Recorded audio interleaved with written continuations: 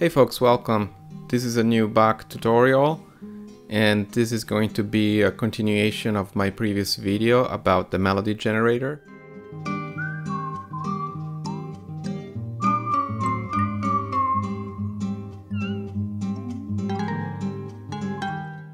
So uh, in this video I want to add a couple of features that made it into the final project that I described. Again, the project was to uh, create a melody generator based on a fixed uh, list of durations and the result would be a Bach score.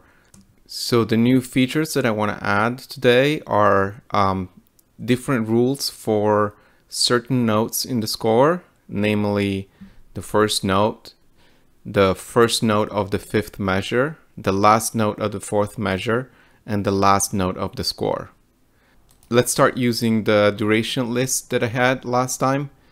And uh, we are going to uh, extract the addresses of these values using the Bach.iter object. So the Bach.iter object outputs, in this case, um, three numbers because we have the first level would be the voice index, which is the outermost level of parenthesis. Then I have uh, another set of parentheses inside, and those are the measures. And then lastly, I have uh, the elements within that level of parentheses, which are the notes within the measure.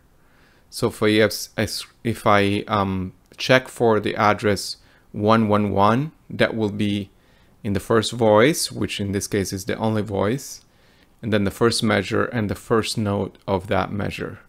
If I want to check for the first note of the fifth measure, then the th second index will be the measure index and the first note of that will be uh, the note that I want to check for.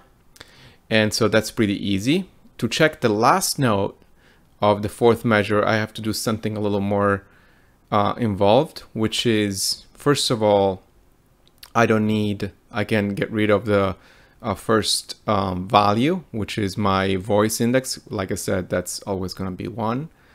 And then check for the measure index. So with the Bach.pick, pick here, I'm just checking the first value, which will be the measure, and the second value will be the note within the measure.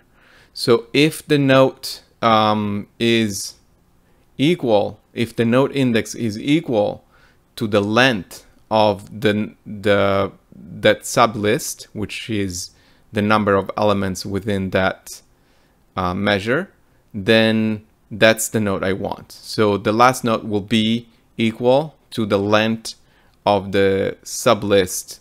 I connect the Bach.length um, to the equal sign because that's going to be uh, that could vary based on the number of the um, based on the duration list.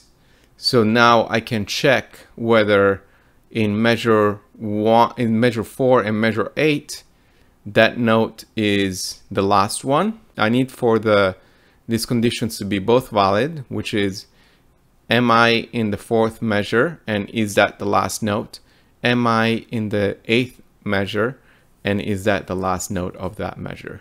If those checks are true, then I want to trigger different indexes which will uh, uh, operate a gate. So now the select one will mean that, that those statements are true. And then if I have a gate five, I can have uh, the uh, indexes, the, um, the, the numbers to be, to, to open the correct gate. So uh, then I can pass that value on the gate and that's going to be routed to the correct um, rule that I'm going to follow. So if everything is false, then I want this to be routed to just the, my uh, generic rule that I had created in the last video, which means um, like the rule that is controlled by the itable.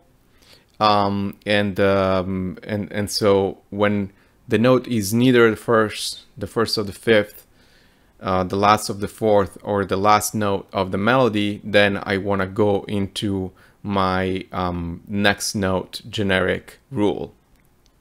While if I hit one of these notes, I can have specific rules for these notes. When none of these are triggered, then the integer box will output a zero.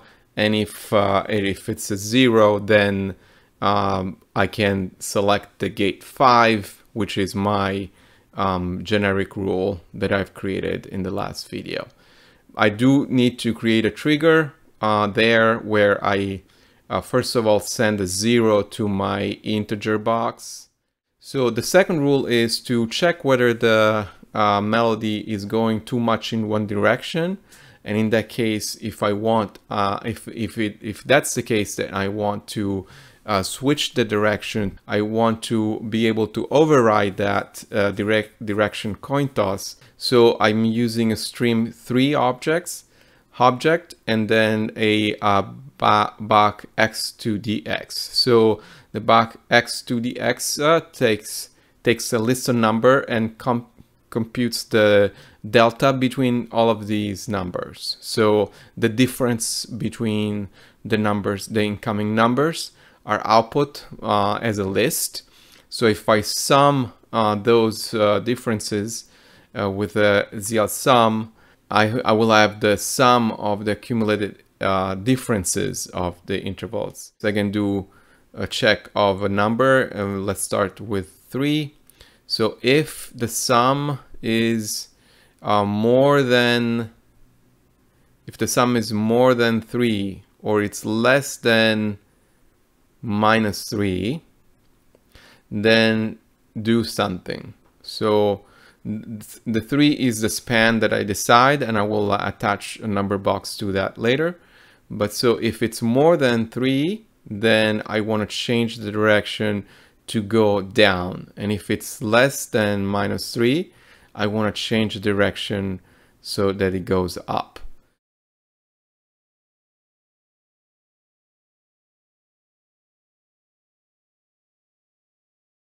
So uh, in and in this case, two happens to be the going down gate, uh, while um, one is the going up.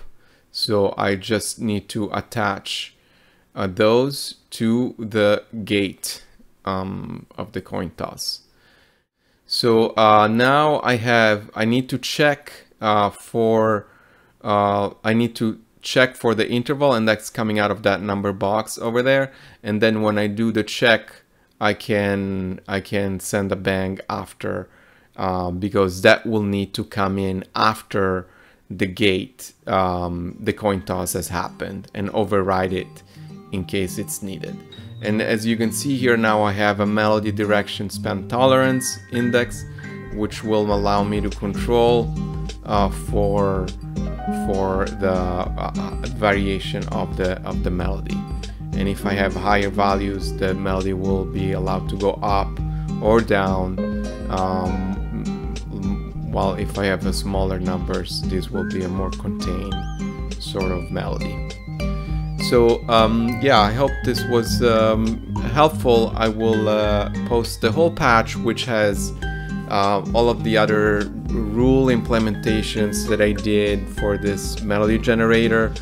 And um, I will post it on my Patreon uh, where I also have a Discord channel where I answer questions uh, and um, if in case you have projects I uh, help um, I can help you out uh, looking into this kind of issues um, so feel free to check that out uh, and uh, leave comments and likes. And uh, until the next time, take care.